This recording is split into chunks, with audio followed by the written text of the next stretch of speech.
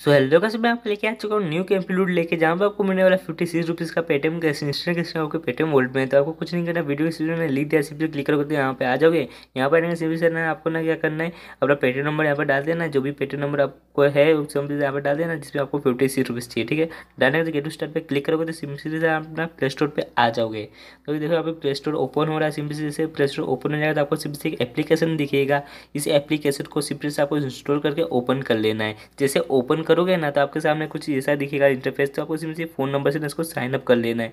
तभी भी अपना फ़ोन नंबर डाल देता हूँ। फ़ोन नंबर डालने का सिंपल से ना आपको यहाँ पे ओ टी आएगा ओटीपी डाल देना है। डालने का सिंपल से आपको जेंडर पूछेगा तो आपको पर जेंडर सेलेक्ट कर लेना फिर बर्थडे पूछेगा तो आपको ना क्या करना है, अठारह साल से ऊपर जैसे उन्नीस, बीस, इक्कीस ऐसा डाल देना फिर आपको यहाँ पर नाम पूछेगा तो सिंपल से अपना नाम यहाँ पर डाल देना है, ठीक है? नाम डालने का सबमिट पर क्लिक कर देना आपको सिंपल से जैसे करोगे तो जैसे आपका रजिस्ट्रेशन सक्सेसफुली हो जाएगा। फिर ऊपर आपको एक डब्बा जैसा आइकन दिखेगा। सिंपल इस डब्बे पर आप क्लिक करोगे तो सिंपल से आपको एक एड दिखेगा। मतलब कि आपको तीन एड यहाँ पे देख लेना जैसे तीन एड देख लोगे तो आपको फिफ्टी सिक्स रुपीज़ रिसीव हो जाएगा।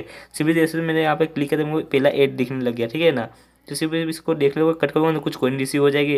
सिर्फ़ से वापस इस पर क्लिक करोगे तो आपको तीस, दूसरा एड भी दिख जाएगा, ठीक है? तो जैसे मैं क्लिक कर रहा हूँ तो मेरे को यहाँ पे दूसरा एड भी दिख रहा है। ऐसे करके आपको तीन एड देख लेना है। जैसे आप तीन एड देख लोगे तो आपको क्या करना है? अपना पेटीएम खोल लेना है। जब आप पेटीएम खोलोगे तो वहाँ पर आपको दिखेगा फिफ्टी सिक्स रुपीज़ आपको रिसीव हुए के पी लूट की तरफ़ से। यही ना अपने पप्पा मम्मी के मोबाइल पर भी आप करके अर्न कर सकते हो। मिलते